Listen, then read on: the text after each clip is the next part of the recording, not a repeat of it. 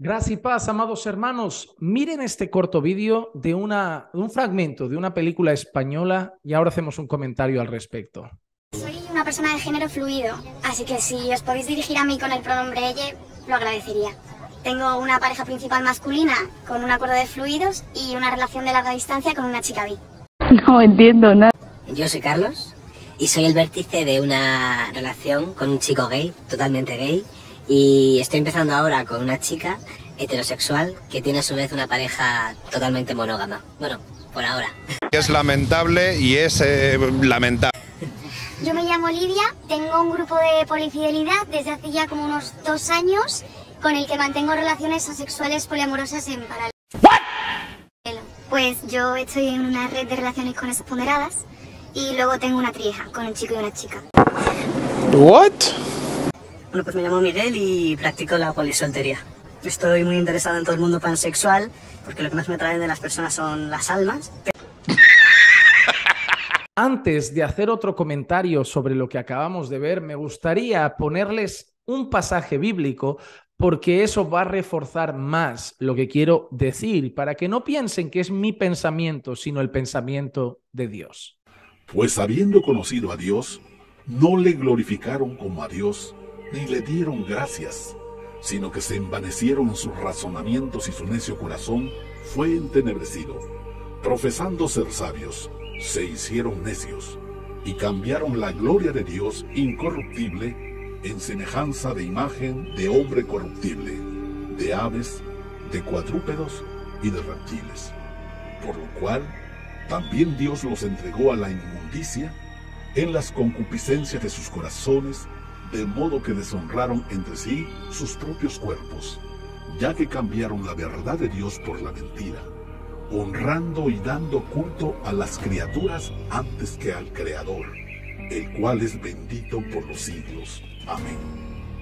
Por esto, Dios los entregó a pasiones vergonzosas, pues aún sus mujeres cambiaron el uso natural por el que es contra la naturaleza, y de igual modo, también los hombres, dejando el uso natural de la mujer, se encendieron en su lascivia unos con otros, cometiendo hechos vergonzosos, hombres con hombres, y recibiendo en sí mismos la retribución debida a su extravío.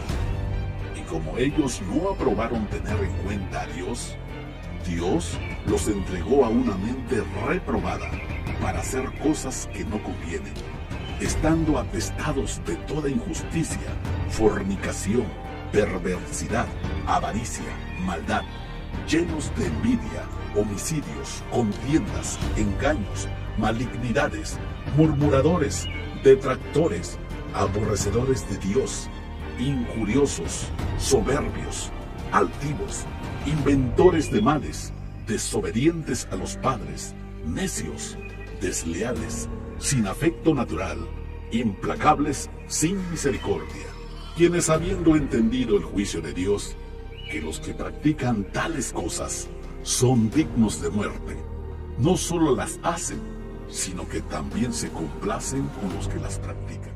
Una de las cosas que estoy viendo en el cine español es que últimamente y siempre con un tono de comedia están saliendo películas que quieren promover la normalización de ciertas cosas. Están tomando usualmente en el personaje principal de comedia a un hombre mayor, un hombre de una edad más avanzada, como el que acaban de ver en el vídeo, que está a cuadros con lo que está escuchando.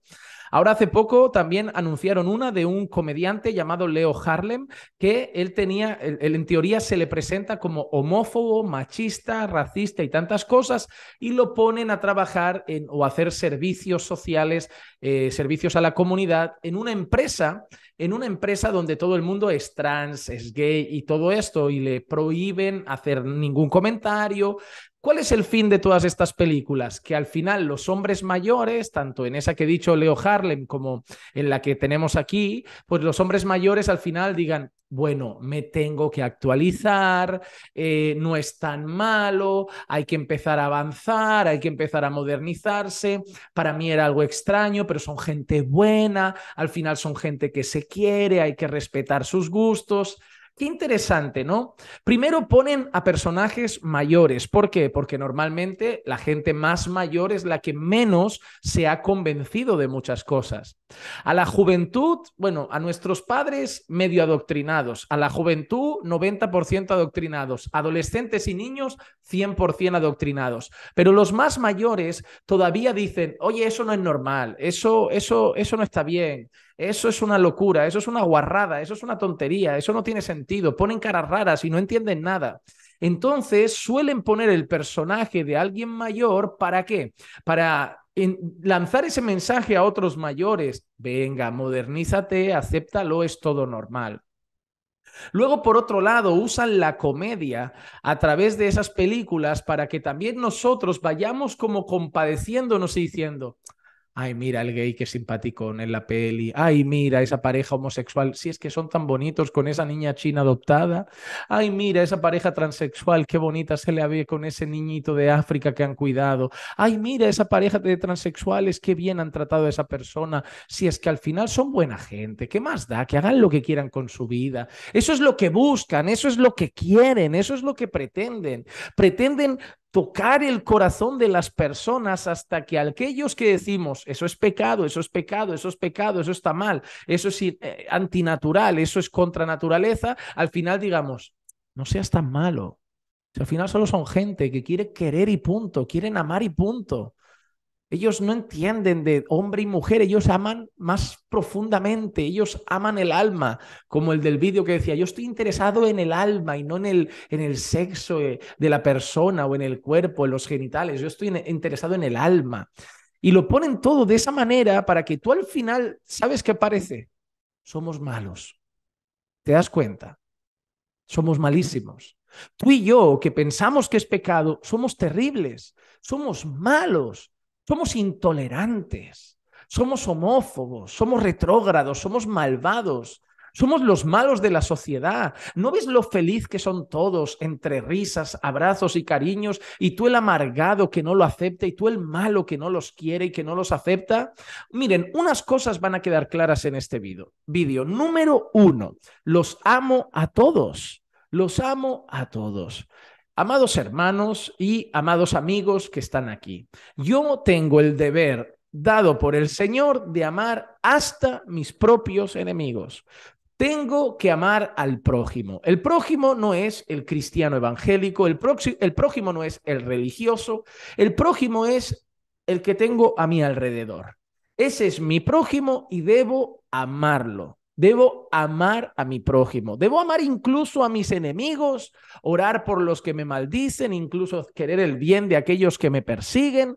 Yo debo hacer eso. Así que número uno, no los odio. Número uno, no los aborrezco, no les deseo el mal. Yo los amo. Amo su alma. Número dos, que los ame no significa que los apoye. Que los ame no significa que esté de acuerdo. Un padre puede amar a su hijo y decirle que su decisión está mal. Un padre puede amar a su hijo y decirle que esa es una mala compañía. Un padre puede amar a su hijo y llamarle la atención por una cosa que ha hecho mal. Un padre puede llamar a su hijo la atención por un pecado y amarlo profundamente. ¿Acaso el padre que le dice a tu hijo eso está mal, al padre que le dice a su hijo eso no es correcto, no lo ama? El que ama disciplina, el que le deja perderse lo aborrece. Entonces, Mira, mira si os amo, que os digo que es pecado. Mira si os amo, que os digo que no es natural. Mira si os amo, que os digo que es una aberración a los ojos de Dios. Y lo hago porque os amo, ¿Tú crees que si yo no os amara me arriesgaría a buscar pleito? ¿Tú crees que si yo no os amara me arriesgaría a ser odiado por vosotros? ¿Tú no crees que para mí lo fácil es callarme? ¿Tú no crees que para mí lo fácil, para tener paz y tranquilidad con todos, es simplemente callarme y no decir nada? Pero como yo creo, por lo que he leído en la palabra, por lo que hemos leído en ese versículo, por lo que hemos escuchado en ese texto, como yo creo que eso no está bien a los ojos de Dios, como yo creo que eso es pecado a la luz de la palabra, como yo creo que eso Dios lo llama algo no natural. Como yo creo que Dios llama eso malo, yo tengo la responsabilidad por el amor que tengo a tu alma de decir eso es pecado.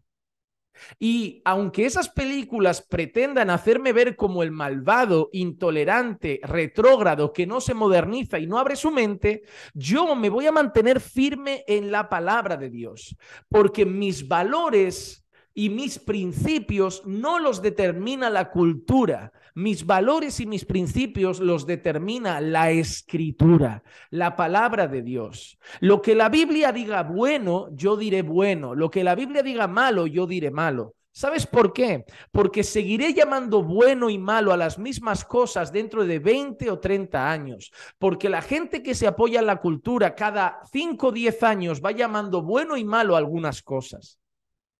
Por eso la pedofilia, que es terrible, un delito penal y algo malvado y abominable, mañana se va a ver como algo bueno, porque cada día ya salen más a defenderla, van cambiando más el discurso, van cambiando más el tonito, hasta que al final digan, no tiene nada de malo.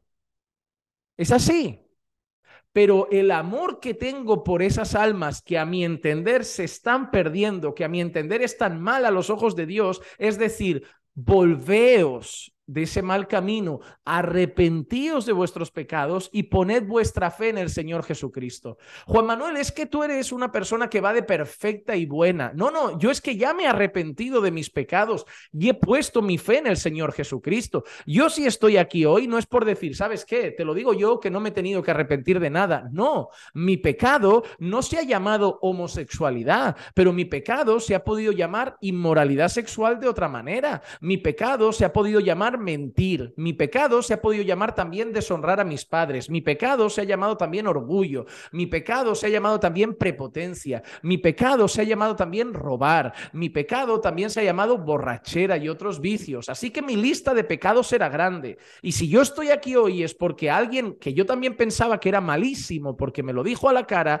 me llamó el pecado por su nombre y al que por un instante pude haber odiado, alguien me dijo eso, pero movido por el Espíritu Santo en mi corazón, me arrepentí de mis pecados y puse mi fe en el Señor Jesucristo para mi única esperanza de salvación. Y desde ese momento el Espíritu Santo ha ido trabajando en mi vida y me he ido despojando de las cosas que Dios llama malas y adaptando mi vida a las cosas que Dios llama buenas por la gracia de Dios. Si yo estoy aquí jugándome que me odies, jugándome que me aborrezcas, es precisamente porque tu alma y deseo el bien eterno de tu alma. Y por eso te digo, lo de esa película es un sinsentido. Es un sinsentido. Si los señores mayores no lo entienden, es porque los señores mayores son los que todavía quedan con un poco de coherencia. Y aunque vayan a adoctrinar a todo el mundo con esas películas, jugando con la comedia y el corazoncito, no lo van a hacer con la iglesia, por lo menos con la iglesia que se mantiene firme en la palabra. Eso es pecado y punto y final. Y eso no me hace malo y no me hace intolerante. Me hace que tengo unos valores basados en la palabra de Dios. O eres malo porque tú llamas homófobo a alguien. Eres malo porque me llamas retrógrado, eres malo porque me llamas intolerante. No, me vas a decir, no, no soy malo por llamarte homófobo. Si eres homófobo, eres homófobo. Pues no soy malo por decir que es antinatural. Si es antinatural, es antinatural. Aquí los dos jugamos a la misma libertad de expresión, ¿verdad? Tú tienes tus valores, yo tengo los míos, pero los míos han cambiado mucho. ¿Sabes por qué? Porque he entendido que la moral y la ética va definida por el que dio y creó la vida, el Señor Todopoderoso. Por eso, aunque penséis que la iglesia os odia y os aborrece, es muy posible que haya mucha más homofobia en esas calles del mundo que en la iglesia. Porque la iglesia cuando dice arrepentíos y convertíos, no lo dice por odio, lo dice por amor. Nos podrán denunciar por delito de odio, pero Dios sabe y nosotros sabemos que lo único que nos mueve a decir eso es pecado. Pero si estás vivo, todavía tienes tiempo de arrepentirte y poner tu fe en Jesucristo para perdón de pecados y que los puedas abandonar y vivir una vida nueva para la gloria de Dios en Cristo. Si hacemos esto, es por el amor que tenemos a vuestras almas.